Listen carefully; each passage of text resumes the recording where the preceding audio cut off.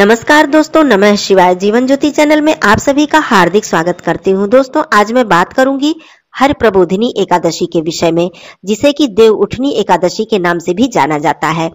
चातुर्मास शयन करने के बाद भगवान विष्णु जी इसी दिन अपनी निद्रा से जागते हैं और यह एकादशी अत्यंत ही महत्वपूर्ण और अत्यंत ही शुभ फल प्रदान करने वाली एकादशी मानी जाती है। यदि जो भी भक्तजन पूरे वर्ष में कोई भी एकादशी का व्रत धारण नहीं कर पाते हैं तो उन्हें हर प्रबोधिनी एकादशी अर्थात देव उठनी एकादशी अवश्य ही धारण करनी चाहिए।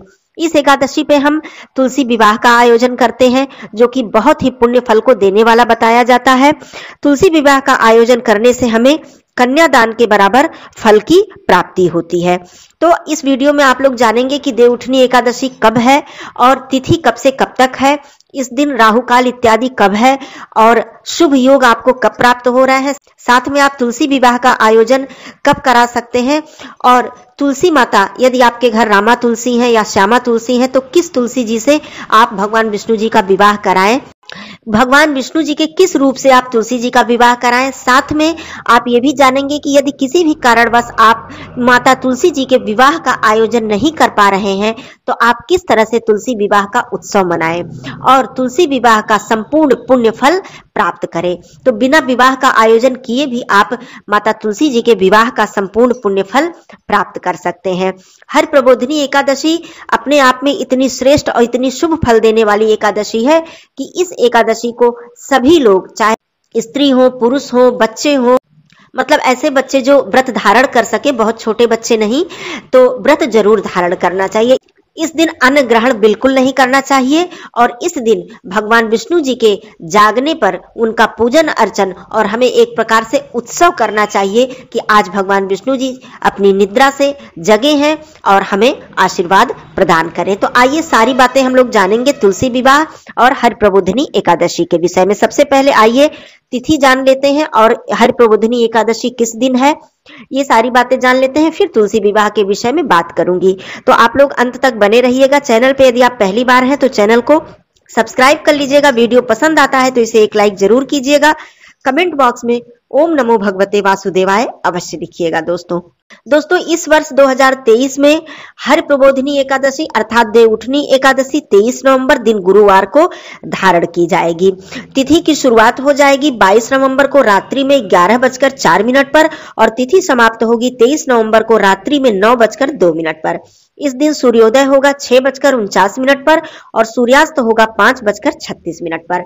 उदया तिथि के अनुसार तेईस नवंबर को हम सभी लोग देवउठनी एकादशी का व्रत धारण करेंगे। इस दिन राहु काल का समय होगा। दोपहर में एक बजकर तैतीस मिनट से लेकर दो बजकर चौवन मिनट तक। इस दिन शुभ मुहूर्त है, अभिजीत मुहूर्त है।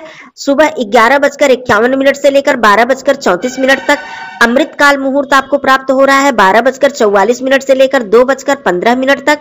ब्रह्म मुहूर्त पाँच बजकर तेरह मिनट से छह बजकर एक मिनट तक। तो ये सारे शुभ मुहूर्त थे, जिसमें कि राहु काल भी आप लोगों ने जाना। अब मैं बात करती हूँ कि देव उठनी एकादशी के दिन। आप लोग सुबह सवेरे उठकर स्नानादि करके इस दिन भगवान विष्णु जी की विधि विधान से पूजा करें, माँ तुलसी जी की विधि विधान से पूजा करें। और देखिए दोस्तों, जितनी एकादशी पड़ती है, प्रत्येक माह में जो एकादशी पड़ती है हम लोग माता तुलसी को इस दिन जल अर्पित नहीं करते हैं। लेकिन तुलसी विवाह के दिन यदि आप विवाह का आयोजन कर रहे हैं तो आप माता तुलसी जी को स्नान भी करा सकते हैं, उन्हें हल्दी, सिंदूर इत्यादि चढ़ा सकते हैं, मेहंदी चढ़ा सकते हैं मतलब पूरी श्रृंगार की सामग्री उन्हें अर्पित कर सकते हैं, स्पर्श कर सकते हैं। तो ये सारे कार्य आप तुलसी विवाह के दिन कर सकते हैं, क्योंकि ये ऐसी तिथि है कि इस दिन आपको कोई भी शुभ कार्य या मांगलिक कार्य करने की मनाही बिल्कुल नहीं है। तो आइए जानते हैं कि एकादशी व्रत आप लोगों को ज़रूर धारण करना चाहिए। सुबह सवेरे उठकर सबसे पहले सूर्यदेव जी को अर्घ दीजिए। उसके बाद आप लोग तुलसी जी की पूजा कीजिए, भगवान विष्णु जी की, माँ लक्ष्मी जी की पूजा अर्चना कीजिए, पूरे दिन आप लोग फलाहारी व्रत भी धारण कर सकते हैं, नमक, सेंधा नमक का सेवन भी कर सकते हैं।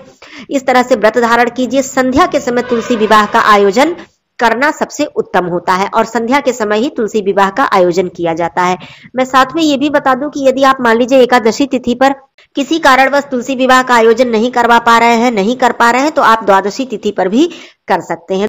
दूसरी चीज़ मैं बताना चाहती हूँ, यदि आपके घर रामा तुलसी है, श्यामा तुलसी है तो इस बात में कोई भेदभाव आपको नहीं रखना है। कोई भी तुलसी माता है, आप दोनों ही प्रकार की तुलसी माता से भगवान विष्णु जी का विवाह करा सकते हैं। अब मैं बात करती हूँ, यदि आपके पास शालिग्राम जी नहीं है मतलब भगवान विष्णु जी का शालिग्राम रूप आपके पास नहीं है तो आप भगवान विष्णु जी के किसी भी चित्र या भगवान श्री कृष्ण जी के किसी भी चित्र, फ़ोटो, तस्वीर इत्यादि से आप तुलसी विवाह का आयोजन संपन्न कर सकते हैं।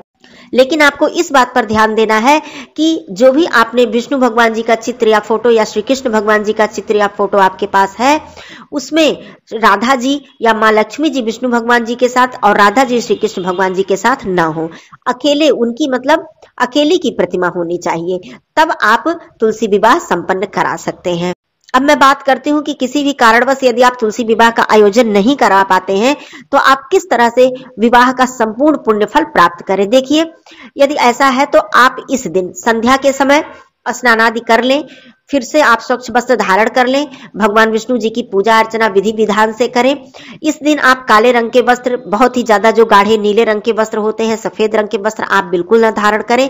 इस दिन आप माता तुलसी जी के समक्ष आप बैठकर माता तुलसी जी का जो स्थान है, उसे सबसे पहले आप सजा लें, रंगोली इत्यादि बना दें, या फिर जैसे आप सजा सके, वैसे तो मंडप सजाने का विधान होता है गन्ने को चारों तरफ़ से लगाकर मंडप बनाया जाता है विवाह का आयोजन करने के लिए, लेकिन आप नहीं कर पा रहे हैं तो आप रंगोली इत्यादि बना लें, अच्छे से माता तुलसी जी की जो क्यारी है, या गमला है, या जो भी स्थान है, आप अच्छे से सजा लें, और माता तुलसी जी का पूरा श्रृंगार इस दिन करें। श्रृंगार में आप क्या करेंगे?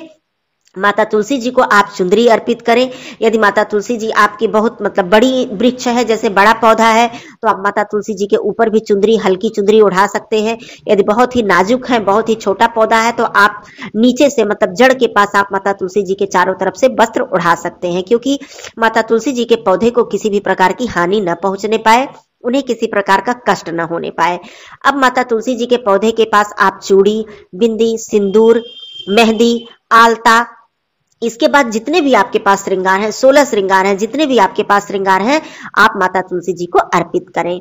उसके बाद आप इस तरह से भाव रखें कि आज माता तुलसी जी के विवाह के उपलक्ष्य में हम माता तुलसी जी का श्रृंगार कर रहे हैं और हम पूरे परिवार मिलकर माता तुलसी जी के विवाह का उत्सव मना रहे हैं।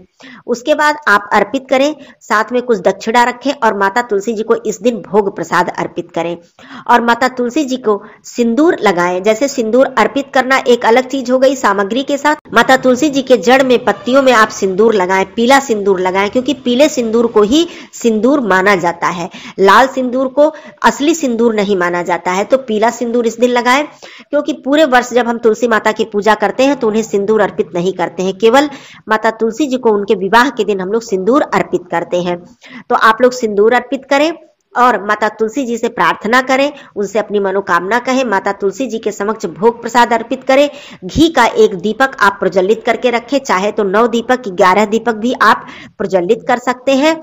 और माता तुलसी जी के समक्ष आप धूप प्रज्वलित करें, भोग इत्यादि लगाने के बाद बैठकर माता तुलसी जी के मंत्रों का आप जप करें, उनकी आरती करें, पूरे परिवार मिलकर विधि विधान से माता तुलसी जी की आरती करें और माता तुलसी जी के वृक्ष के समक्ष बैठकर, पौधे के समक्ष बैठकर आप भगवान विष्णु जी के मंत्रों का भी जप कर सकते हैं। ऐसा करने से माता तुलसी जी अत्यंत ही प्रसन्न होती है।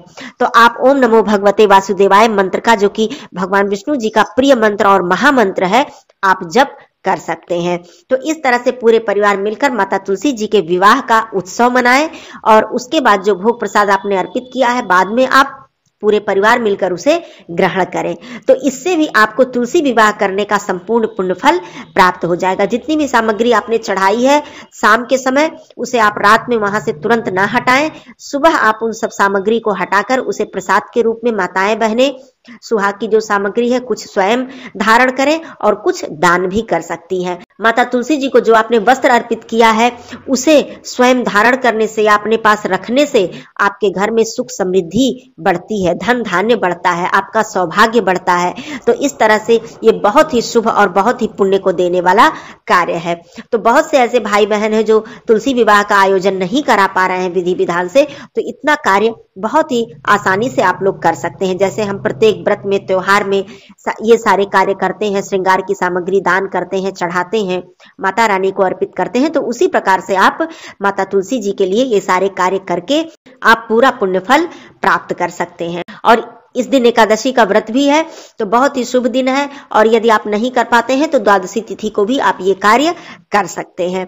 तो आज मैं बात कर रही थी एकादशी व्रत के विषय में, और माता तुलसी जी के विवाह के विषय में कि यदि आप नहीं करा पाते हैं तो इस तरह से आप करके अपना संपूर्ण पुण्य फल प्राप्त कर सकते हैं। क्योंकि बहुत से भाई बहनों के मन में ये है कि हम आयोजन नहीं करा पा रहे हैं तो हमें कैसे पुण्य फल प्राप्त होगा? मन में एक तरह से संतुष्टि नहीं आ पाती है अधूरापन रहता है कि कैसे करें तो ये आप कार्य करके आप पूरी तरह से पुण्य फल प्राप्त कर सकते हैं, इससे माता तुलसी जी प्रसन्न होंगी। तो आगे माता तुलसी जी के विवाह का आयोजन किस प्रकार से करें, सारी विधि मैं आगे वीडियो में दूँगी। आज की वीडियो यहीं तक थी, फिर मिलती हूँ अगले वीडियो में, तब तक के लिए धन्यवाद, नमः शिवाय, हर हर महादेव।